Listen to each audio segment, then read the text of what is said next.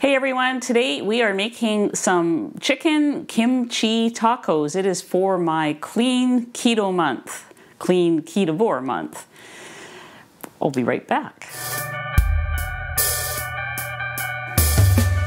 I'm Anita from ketogenicwoman.com where I share keto and carnivore recipes and other cooking ideas that have helped me lose 125 pounds eating this way.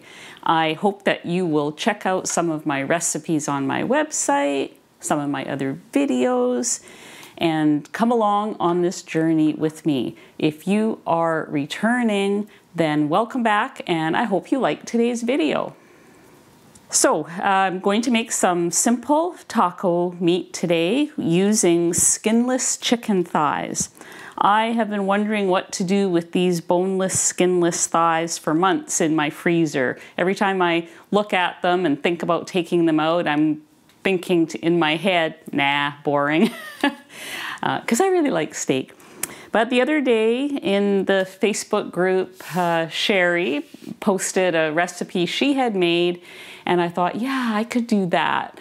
I do have to change it quite a bit. Like hers was a traditional uh, pulled chicken taco meat. Um, but a lot of those ingredients I'm sensitive to, can't do them. So I'm, I'm really uh, tapering this to my own needs. Uh, it's highly tweaked. So, uh, but I'll tell you what is gonna go in here. I have three pounds of boneless, skinless chicken thighs. I have chopped up four garlic cloves. I'm going to put in a quarter cup of chicken broth. Um, you can use uh, just water if you don't have chicken broth. I'm going to use a teaspoon of Redmond salt, a teaspoon of white pepper. I cannot do black pepper. Also, in case you don't know, white pepper is way lower in oxalates than black pepper, so something to think about. I'm going to do a teaspoon of chipotle powder and a tablespoon of some taco seasoning that I found. Make sure you get sugar-free taco seasoning. So, and that and that's it. Um, her original recipe had other stuff, a lot more things. It came from marthastewart.com, I think, most of which I, I can't include um, in here, including the salsa. The twist we are going to do later, and I'm not adding that in until later when the chicken is done, is kimchi. And I will show you how I'm going to do that later and why I'm adding it right at the end. So first, I am going to put my chicken thighs in here. I'm just going to drop them in there. I'm sure you could also do this with chicken breast if you wanted to do it, but I had thighs and uh, I just like them. They're they're kind of meatier and fattier to me. They they don't get dry, so uh, yeah, I really like them. So let's let's do this. Oh, get my garlic in there. Can't forget that. Okay. So I'm going to do one teaspoon of, I, I'm using today Redmond's onion salt. I have a few different kinds in my pantry and just whatever strikes my fancy. One teaspoon. I do tend to under season a bit because of the fact that I, I kind of do better with just, uh, you know, minimal amounts. So feel free to amp this up. I'm doing one teaspoon of white pepper, and I've got some chipotle pepper here. Only one teaspoon of that is going in. Ooh, doesn't quite fit. Let me see if this one fits. You have to be careful here. I don't think it matters if I go over a bit. That's good enough. Okay, so one teaspoon of chipotle. And I've got this sugar-free taco seasoning. And I'm going to do three teaspoons to make a tablespoon. Oh, I love the smell of taco seasoning. All right, we have all our spices in there and I'm going to add a quarter cup. First, I'm going to put this on low. I'm going to add a quarter cup of chicken broth. But like I said, you can do water. You don't need to add too much liquid in here because um, the chicken thighs are, are kind of fatty and there's going to be juices released. And so I'm just adding a small amount and this should be more than enough liquid in here. So that is it. And now we wait. So you can, you have two options. You can do this on low for about eight hours uh, or on high for four hours. So I'm going to go low because I have to run out and do a little bit of shopping today. Um, and when I when we come back in the next section, I'll show you what I'm doing for the taco shells and then what we're going to do with the kimchi after that. So we'll see you in the next section. Okay, so these have been in here for hours. I just wanted to demonstrate this, the way you can tell absolutely that they're ready is that they start to fall apart like this. They, if, if you can pull them apart just with a, a wooden spoon, they are done. So we're gonna pull them out and uh, we're gonna finish up our tacos. Okay, so uh, these are definitely ready to come out. I am going to put them in this bowl. Um, just want to show you what I have here is a half a cup of kimchi, which I have chopped finely. A lot of times when you buy kimchi, the pieces are quite large, and I'm, want, I want to mix it with the chicken. And um, so I just, I just basically took a knife and chopped it up as finely as I could. I'm just going to get the chicken into this bowl to do a little bit of shredding. Should be fairly easy. The chicken is falling apart like crazy.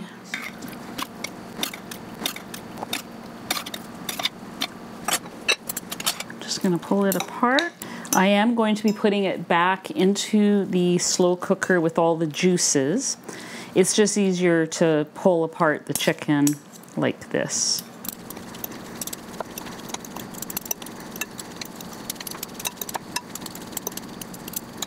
Okay, um, I'm also going to put the kimchi in there.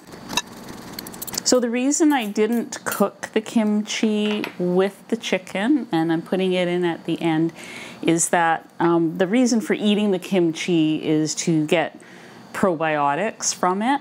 And if you cook uh, like sauerkraut, kimchi, any any of these fermented vegetables, if you cook them you know too hot, they lose a lot of their probiotics, and so adding them in at the end uh, avoids that problem. And it is going to add just a little bit of variety to the the taste of the chicken in here, um, a little bit of a flavor, zing. Uh, probiotics, a little bit of crunch, a little bit of spiciness. It's uh, instead of using salsa basically in here. Actually, I think there might be too much liquid in there for me to put this back in. So I'm just going to take some of the liquid out and add it to this bowl.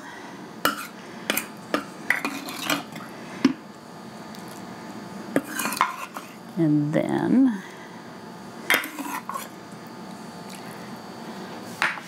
That should give it enough moisture.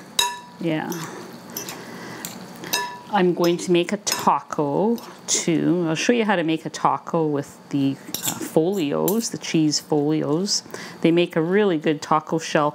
Um, when I was in Alberta a couple of weeks ago, I was invited over to one of my cousin's place for dinner. They ordered Mexican food and they ordered me the keto taco. And the place used these, they used these for the for their tacos, and it was really good. So I decided I was going to give that a try as well. Now you can make your own folio cheese wraps. Um, you can do this, you know, by baking the cheese in the oven. I didn't want to do that because of um, it's pretty hot in here today. So I did not want to turn on the oven. So I'm going to microwave one of these. I actually did see recently a good uh, tutorial on how to make these and how to make a taco with them um, from Health Cathy over at Healthy Ambitions.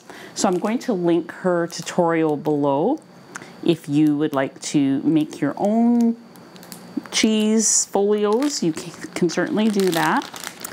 Um, and at, you know, at some point in the future, when the weather cools down, I might do something like this again, and and and I'll make I'll make them instead of buying them. So, so what you do, if I can get it out, is uh, you leave it on this little piece of parchment paper. I'm going to put it in the microwave for one and a half minutes, and then I'm going to hang it so it turns into a taco. Then I'm going to put my taco together.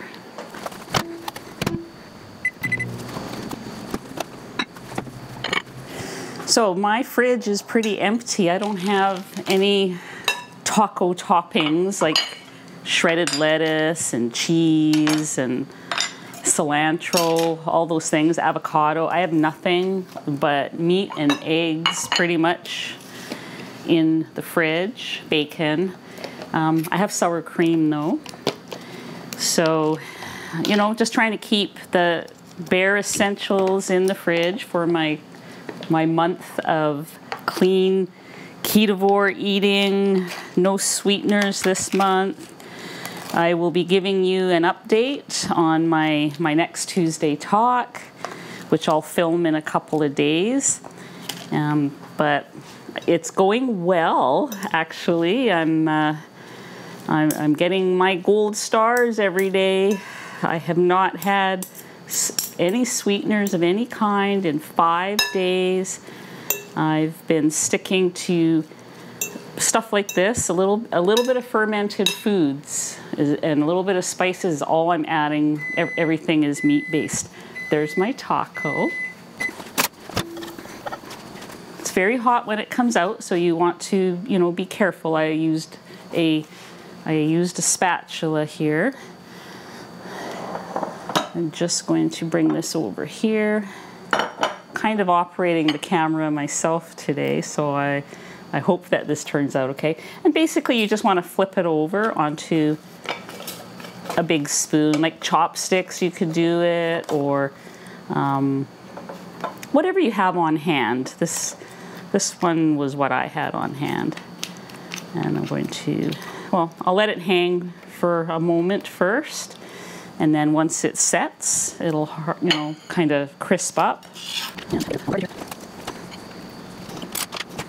Let's see if I can get this off. Yeah, it's starting to take its shape. Okay, just gonna leave it for another minute. Gonna give the chicken a try.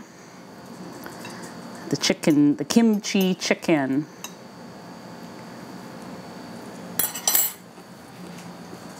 Mmm. It's going to be perfect in the taco. I think I can take it off the spoon now. You can also make a taco bowl out of these. Okay, it's doing what it's supposed to do.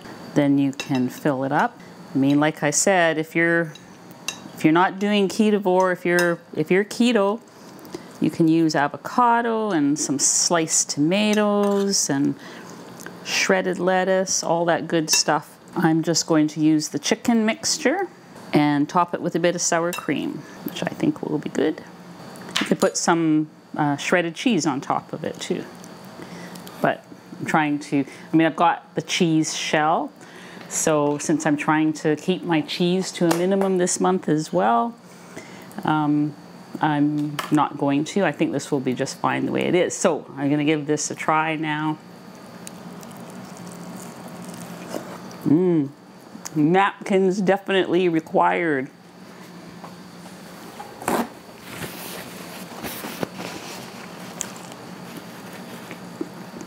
It is so good.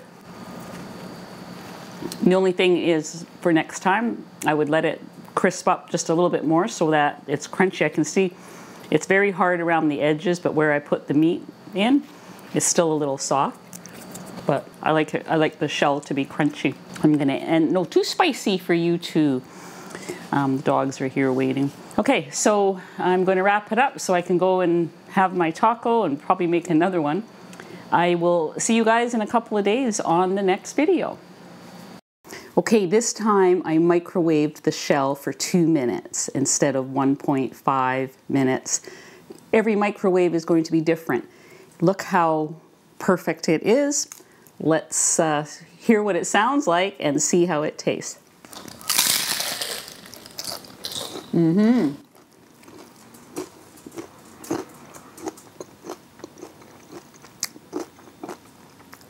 Now we have a taco.